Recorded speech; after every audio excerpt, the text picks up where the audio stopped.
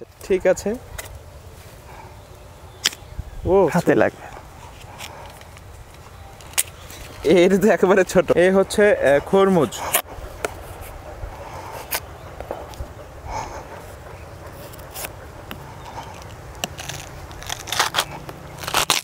এই দেখেন কালার। এই এক বছর বয়স। এক বছর বয়স। বিক্রি করেছেন পেয়ারা এখান থেকে? হ্যাঁ দুই সিজন বিক্রি হয়েছে।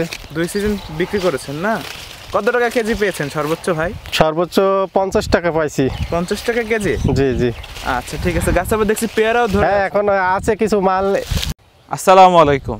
প্রিয় কৃষি উদ্যোক্তা ভাই ও বোনেরা সবাই কেমন আছেন? আশা করছি নিশ্চয়ই ভালো আছেন। আলহামদুলিল্লাহ আল্লাহর অশেষ রহমতে আমিও ভালো আছি। দর্শক বন্ধুরা আমার হাতে দেখতে পাচ্ছেন একটি ছোট সাইজের খরমুজ। আপনারা যারা আছেন সবাই চেনেন এই ফলটা। এটা খরমুজ। এর ভেতরে অত্যন্ত লাল হয়ে থাকে এবং এটা খেতে অত্যন্ত সুমিষ্ট। খরমুজ যারা খান বা খেয়েছেন তারা জানেন, আর এটা হচ্ছে একেবারে পরিপক্ত একটা ছোট খরমুজ। খরমুজ চাষ সম্পর্কে আজকে আপনাদেরকে বিস্তারিত জানাব। আমি আজকে এসেছি ঝিনাইদহ জেলার মহেশপুর থানার মালাধারপুর গ্রামে। এই গ্রামেরই একজন উদ্যোক্তা মোহাম্মদ আলমগীর ভাই। তিনি তেত্রিশ শতাংশ জমিতে পেয়ারার সাথে এই খরমুজ চাষ করেছেন, মালচিং পেপার ব্যবহার করে। আপনারা কীভাবে চাষটা করবেন? বিস্তারিত থাকছে আজকের প্রতিবেদনে। তো চলুন বন্ধুরা আমরা সেই ভাইয়ের সঙ্গে পরিচিত হয়ে বিস্তারিত জানি। আসসালামু আলাইকুম। ওয়ালাইকুম আসসালাম। কেমন আছেন? আচ্ছা আল্লাহর রহমত আমি ভালো আছি। আপনারা আমার ভুইতে আসছেন। দেখেন আমি খরমুজ চাষ করেছি পেয়ারা ভুইতে। হ্যাঁ তবে এ এ হয়েছে দ্বিতীয় কাঠের মাল হ্যাঁ? আর পহেলা কাঠের মাল বিক্রি হয়ে গেছে আপনারা হয়তো পহেলা চান্সে আসতে পারেন নাই। আচ্ছা আচ্ছা। এখন এগুলা কি করবেন নাকি? এগুলা আপনারা আসছেন আপনাদের দেখাবো আপনারা খেয়ে দেখবেন এখন রোজা আছেন কিনা জানি না। রোজা আছি। হ্যাঁ, তাহলে- আমরা দেখব হ্যাঁ তাহলে দেখতে পারেন আচ্ছা আচ্ছা। কেটে দেখাবো না আপনারা বাড়িতে নিয়ে দেখলেও দেখতে পারেন? বাসায় নিয়ে যাব আর আমরা এমনিতে নরমালি একটা ছোটটা কেটে দেখাবো। দেখেন তাহলে কালারগুলো আচ্ছা, এখন আমরা আগে শুনি। দেখব ইনশাল্লাহ এখানে কত শতাংশ জমিতে আপনি করেছেন? তেত্রিশ শতাংশ জমি। তেত্রিশ শতাংশ জমি অর্থাৎ এক বিঘা। হ্যাঁ এক বিঘা। আচ্ছা এই যে কি জাতের পেয়ারা গাছ দেখতে পাচ্ছি? এটা কি জাতের? এটা এইট গোল্ডেন এইট হ্যাঁ এইট আচ্ছা এটা কি বারো মাস ধরে? এটা বারো মাস ধরে।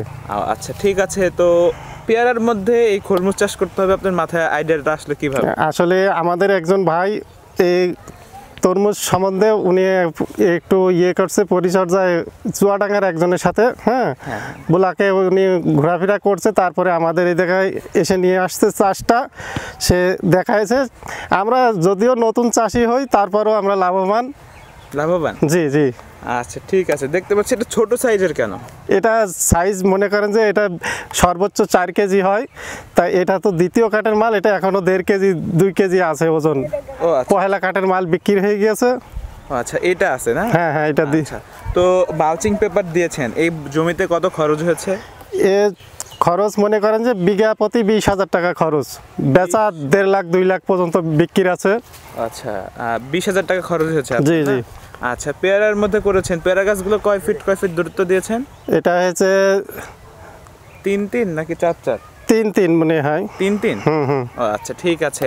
তো এখান পর্যন্ত এখান থেকে বিক্রি করেছেন এই খরমুজ? হ্যাঁ হ্যাঁ বিক্রি করেছি। কত টাকা বিক্রি করেছেন এখান থেকে? এই এক চালান বিক্রি করেছি মনে করেন যে পঞ্চাশ হাজার মতো বিক্রি হয়েছে আরও মনে করেন যে এখানে বিশ হাজার টাকার মাল তো আছেই।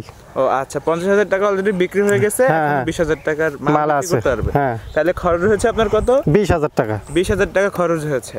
তাহলে এখন যদি বিশ হাজার টাকা বিক্রি করেন তাহলে আমরা বিশ হাজার বাদ দিলাম তাহলে আপনার হচ্ছে ওদিক থেকে তিরিশ হাজার আর এদিক থেকে বিশ হাজার।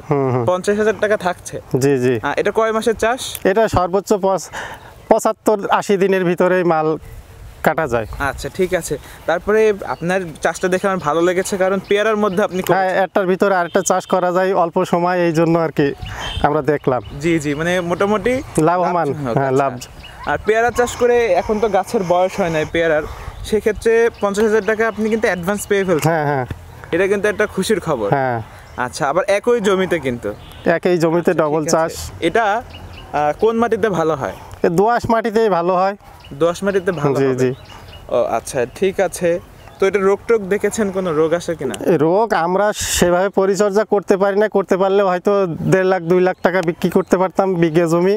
এখন আমরা সেই নতুন চাষি হিসেবে চুয়াডাঙ্গা থেকে ওরা পরামর্শ দিয়েছে। মোবাইলের মাধ্যমে যতটুকু পরামর্শ দিয়েছে আমরা ওতেই আল্লাহর রহমত ভালোই লাভবান। যদি পরিপূর্ণ পরিচর্যা আমরা পাইতাম তাহলে পরিপূর্ণ লাভবান হইতাম।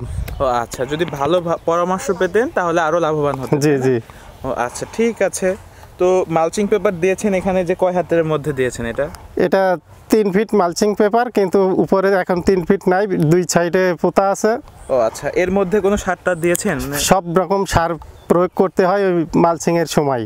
আচ্ছা ঠিক আছে। তো এই সারটা কিন্তু নষ্ট হচ্ছে না এদিকে না, না। এখানে থাকছে। পানি দেন কীভাবে আপনার? সেচ দেন কীভাবে? সেচ ওই সারা জমিতেই সেচ দিই হ্যাঁ? হ্যাঁ। মালচিং এর ভিতরে ঢোকে সাইডে ফুটো আছে বা এইভাবে রসে যায়। মানে ভিতরে যায় পানি? হুম। আচ্ছা ঠিক আছে। তো তরমুজটা খরমুজ এটা না? এটা খরমুজ। আচ্ছা আমরা কি কেটে দেখতে পারি? হ্যাঁ দেখেন। আচ্ছা আমরা একটা এখানে একটা ছোট আছে হ্যাঁ? আমরা এটা দেখে একটা ছুরিও আছে। এই যে এই এই- এইটা কি লাল হবে ভেতরে? হ্যাঁ এটাও লাল হয়ে যাবে। আচ্ছা আমি একটু কাটি হ্যাঁ আচ্ছা কাঠেন দর্শক আমরা একটু দেখাই আপনাদেরকে। যে আসলে আমরা এখানে দাঁড়াই আমরা এখানেই দাঁড়াই। ফল দেখতে পাচ্ছেন যে ছোট একটা ফল খরমুজ। ভেতরে কেমন হয় আগে দেখি। বিসমিল্লাহ রহমান রহিম। আমি কাটি হ্যাঁ কাটেন কাটেন। আচ্ছা ঠিক আছে। ও হাতে লাগবে। এটা তো একেবারে ছোট। হুম তারপরও দেখেছেন কালার হয়ে গেছে। হ্যাঁ এই যে লাল। আচ্ছা আমরা কি বড় ফল কাটবো? হ্যাঁ দেখতে চাইলে কাটতে পারেন। দেখতে চাইলে হ্যাঁ কাটতে পারেন। আচ্ছা, রোজা রেখেছি তো এখন তো আর খাওয়া যাবে না। আমরা আচ্ছা আপনি কাটেন আমি ধরতেছি আপনি কাটেন হ্যাঁ? দর্শক আপনারা দেখতে পাচ্ছেন। এই হচ্ছে খরমুজ।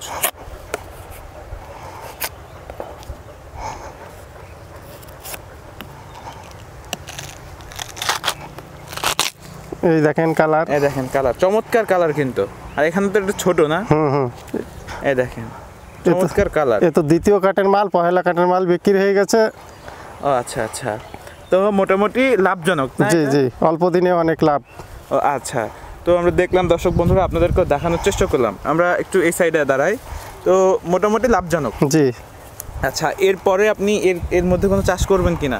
এর মধ্যে চাষ করলে করা যাবে। এখন পেয়ারা গাছ তো আবার ঝুড়ে পরিষ্কার করা হবে। যদি মালচিংয়ে যদি ঝাল লাগাইতে চাই ঝাল লাগাতে পারব বা অন্য অন্য আবাদ করলেও করতে পারব।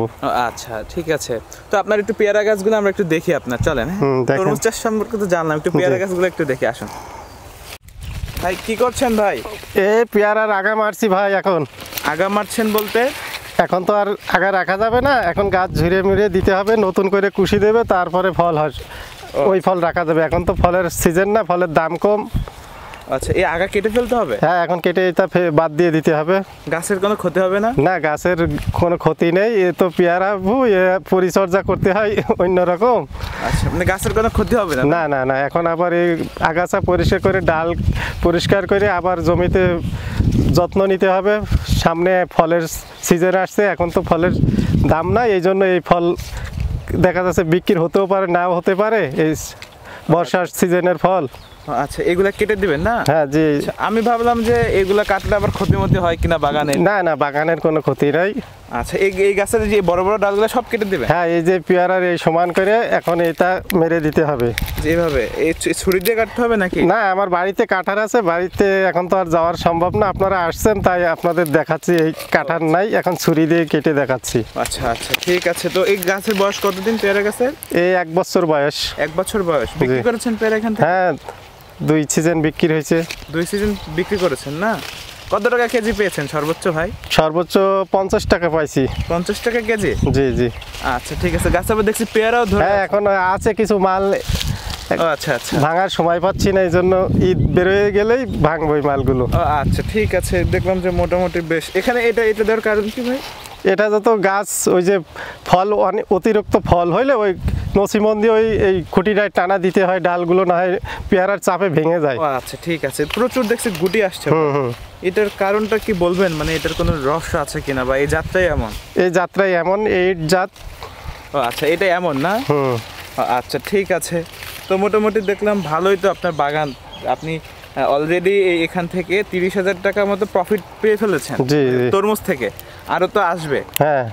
ইনশাআল্লাহ। ঠিক আছে? তো আপনি দর্শকদের উদ্দেশ্যে শেষ কিছু বলেন আপনার এই যে তো খরমুজ চাষ এবং এই পেয়ারা চাষ সম্পর্কে আপনি একটু আমাদের দর্শকদেরকে বলেন। দর্শকরা কেউ চাষ করতে চাইলে পারবে কিনা? আমাদের একটু বলেন। চাষি ভাইরা, আপনারা যদি এভাবে একের ভিতরে দুই চাষ করতে চান, তাহলে এইভাবে পেয়ারা ভুইতে মালচিং করে তো খরমুজ লাগাতে পারেন। ওইটাও অল্প মেয়াদি আবাদ। আবার এখন দেখা যাচ্ছে পেয়ারা ভুই পরিষ্কার করে সময় মতো আবার পেয়ারাও পাবো। কিন্তু খোলে আমরা একটি চাষ পেয়ে গেলাম। একেবারে স্বল্প সময়ে লাভবানও হয়েছি। আমরা যদি পরিপূর্ণ আমরা পরামর্শ পেতাম, তাহলে আরও লাভবান হতাম। এখন আপনাদের উদ্দেশ্যে বলছি, আপনারা যারা করতে চান পরিপূর্ণভাবে পরামর্শের মাধ্যমেই করবেন তাহলে লাভবান হবেন। এই বলে আমার বক্তব্য শেষ করছি। আসসালামু আলাইকুম রহমতুল্লাহ। আচ্ছা ভালো থাকবেন আপনি। আচ্ছা আপনারাও ভালো থাকবেন। দোয়া রাখবেন, আপনারাও আসবেন আবার দেখা হবে আসলে। আচ্ছা ঠিক আছে ভালো থাকবেন আচ্ছা। আচ্ছা দেখা হবে। চলেন আমরা যাই বিদায় নিই দর্শকদের কাছ থেকে। দর্শক বন্ধুরা আমরা তুলে ধরার চেষ্টা করলাম একজন প্রান্তিক চাষির সফলতার গল্প তরমুজ চাষ করে। মোটামুটি বেশ সফলতা অর্জন করেছেন। প্যারাও লাগিয়েছেন। তার সফলতার গল্প আজকে আপনাদের মাঝে তুলে ধরেছি। আজকের ভিডিওটি কেমন লাগল? অবশ্যই কমেন্ট বক্সে কমেন্ট করে জানাবেন। সবাই ভালো থাকবেন, সুস্থ থাকবেন। আসসালামু আলাইকুম।